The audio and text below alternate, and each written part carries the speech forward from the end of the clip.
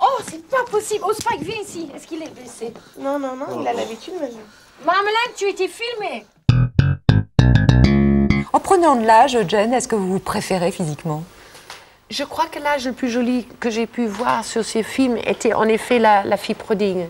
Je crois que 35 ans, c'était pas mal. Que c'est un âge très joli pour une femme aussi parce qu'elle bous- bouscule dans cette euh, incertitude de ce qu'elle va devenir, ce qui fait qu'elle devient quelqu'un de très dangereuse pour, pour, le- son, pour son mari. Parce Pour que l'entourage. Oui, Mm. parce que c'est le- c'est comme Schlitzer, c'est comme euh, Stefan Zweig, c'est tous ces, tous ces personnes dans les romans euh, avec un personnage féminin ou son- centre comme ça. C'est le moment où vous, vous imaginez que c'est votre dernière chance, que c'est dans l'amour, il y a tout d'un coup un, Un abandon. un dé- un détournement de la tête, oui, absolument. mhm. Et je trouve ça aussi intéressant que l'adolescence, qui également comme le petit Nadia Comaneci quand elle marchait sur son fil de fer.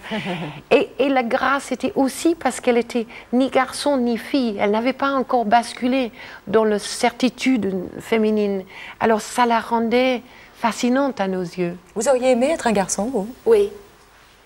Oui, j'aurais adoré Vous être un auriez garçon. préféré? Euh, euh, certainement très longtemps, euh, même maintenant, quoi. je crois que j'aurais été très homosexuelle. Bon, j'a- en tant que garçon, mais pas en tant que fille. non, mais j'aime bien les garçons, mais, mais je, trouve, mais je me trouve plus jolie dans les vêtements de garçon. Je, je voulais être une frère pour mon frère parce que je voulais pouvoir faire des choses comme lui. Je voulais aller à l'internat avec lui. Je mettais ses pyjamas, ses vêtements, c'est les choses de mon père. C'est vrai. C'est Alors, vrai que je revanche, ça quand on, parlera tout à l'heure de vous au, au théâtre, vous êtes beaucoup plus féminine en fait euh, que, que l'image qu'on a de vous. hein. Parce Oui, que fini les jeans, hein, plutôt les c'est- décolletés. C'est parce euh. que je suis vue par un homme. Ouais. Alors ça, veut- ça veut dire que Xavier Duringer, qui est cet amour de, de 35 ans, Et de metteur en scène. metteur ouais. en scène, Ouais. a décidé qu'il en avait marre de tout le reste, voilà.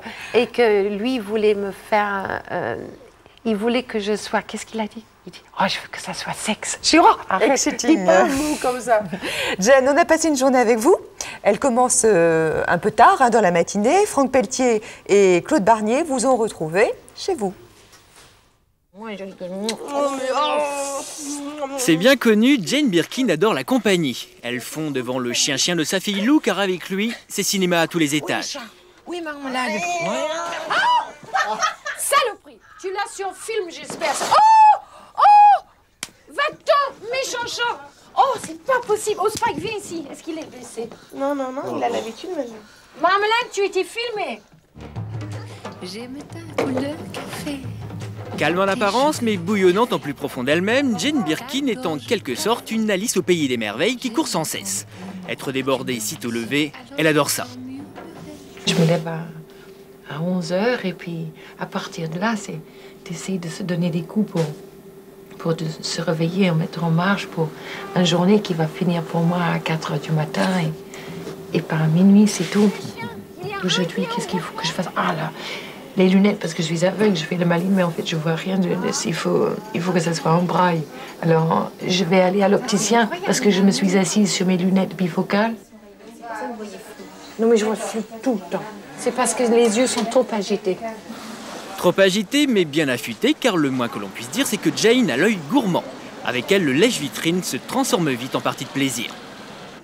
Bonjour. Je peux prendre des croissants pour demain matin? Oui, combien? Quatre Quatre Nous aussi.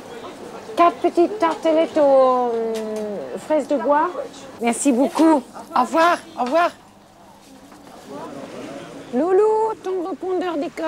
Et Eh oui, maman aurait bien aimé bruncher avec sa fille. Dommage, mais Jane n'en est pas perdue pour autant. Comment va ta pauvre maman Mais c'est mon épaule. Il est 16h30, Jane rejoint sa famille de cœur, celle du théâtre. Je suis la première Aujourd'hui, elle n'est pas au meilleur de sa forme, elle a une angine, et comme tous les jours, elle caresse ses gris-gris anti-superstition. J'ai des morceaux de bois pleins.